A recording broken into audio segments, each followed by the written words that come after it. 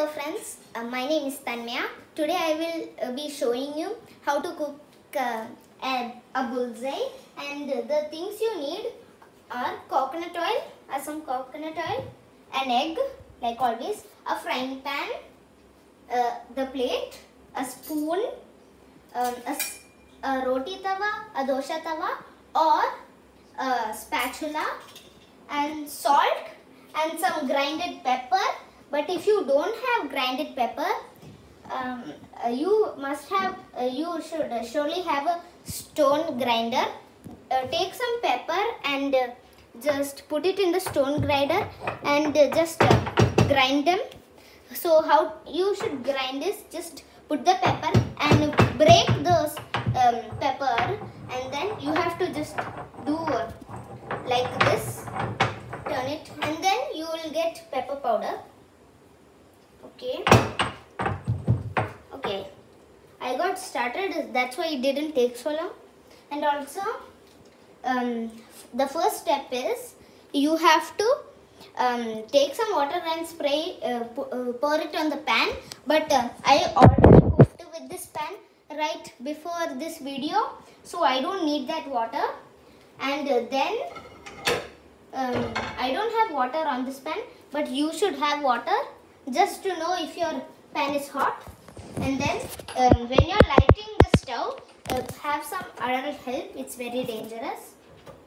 And also make sure not to turn on the fan, or else the fire will go out. And just keep it, um, keep your pan on the stove for a little while. And the next step is to pour after uh, you think the pan is hot enough, uh, which you will know when you put your hand on top of the fan. If you're feeling warmness, the pa- pan is um, possibly hot enough. Then, when you know the pan is hot enough, just pour a tiny bit of coconut oil. You have to be really precise, so please take some adult help. So just pour a little and then just mix it around. Mean spread the oil like this.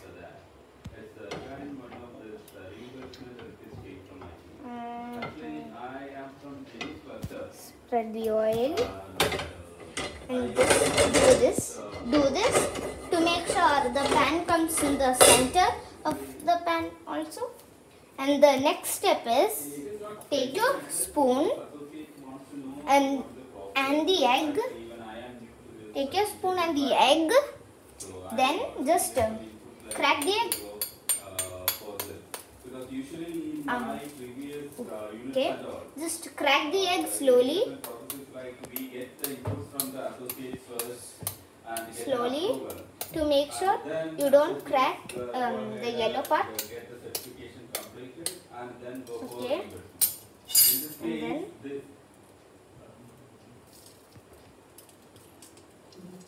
just just pour the egg and throw the eggshell in the dustbin. And now i'm washing my hands. Okay it's okay if the egg breaks like this but make sure it isn't over flooding the white. And then just let it cook for a while.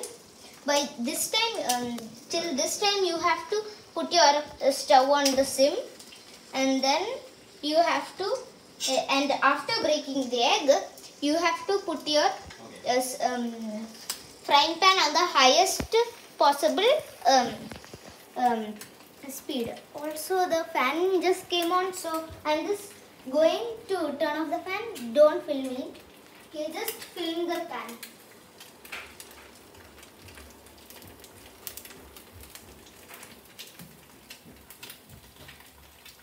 Be there in a second. Okay. Now um, the um, egg is getting ready. And now when you see it in this consistency, like it's all uh, moist, um, slowly turn off the fan, uh, turn off the um, stove. And then take a plate which I did not tell you to um, take. Um, but uh, obviously you need a plate to cook any egg or just to place it somewhere so after it seems like this just um, uh, take the borders and um, um, um, get the egg under the uh, uh, roti tawa, dosha tawa or a spatula and just pull it onto the plate. Drag it.